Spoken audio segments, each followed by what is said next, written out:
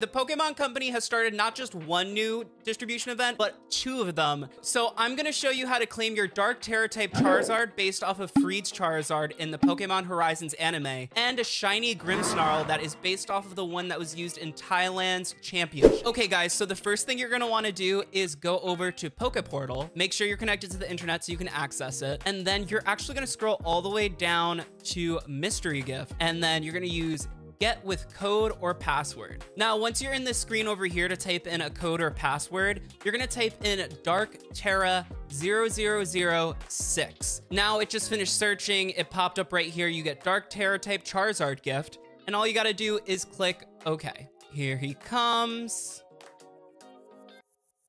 Look at that guy. He looks so good. And now you have your special Charizard from the Pokemon Horizons anime. Now, if you take a look at this Charizard and go over to its moves, you see that it has Crunch, Flare Blitz, Acrobatics, and Belly Drum. That's a very good, diverse set of moves, especially with the Dark Tera type. And if you look under its memories, you also see that it's an adamant nature, and it came from a lovely place.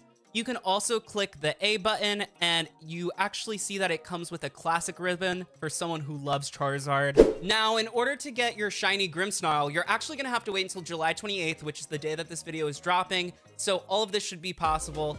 And it's going to be advertised on the Pokemon World Champions site but I'm pretty sure it should be a code. If it is, I'll put it right over here so you guys can take a peek. And I'll also link the website in the description so it's easy to access. But basically, once you get your code, you're to repeat everything that you did to get your Charizard, and you should have yourself a shiny Grimmsnarl. Now, guys, let me know, did you claim your Pokemon before August 31st?